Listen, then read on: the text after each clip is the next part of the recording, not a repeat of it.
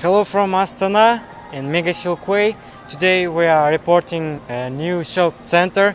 Uh, they call it Qazaq Republic.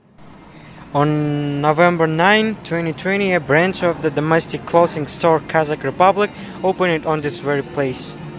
The store has a very large selection of t-shirts, uh, hoodies, bombers, and another accessories and uh, clothes like uh, hats, uh, cups. As you see, uh, they have a, uh very simplified logotype, QR like a Qazaq Republic, um, and the clothes have a very colored.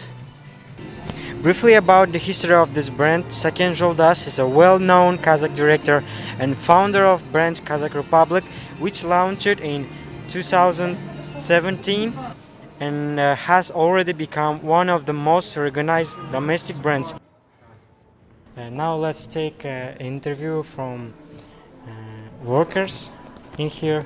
And now the first person workers is uh, Guldana. Guldana, please say how many, uh, how long time you are working here.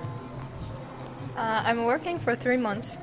Uh, say about uh, how much uh, people uh, are living for a long day.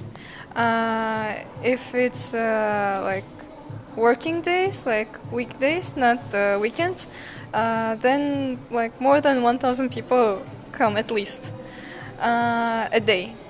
Uh, but when the weekends, it gets sometimes more. And it depends on the situation. Maybe it's like holidays, like maybe sales. When sales, we have a lot of people waiting in the row. Thank you, Guldana, for your answer.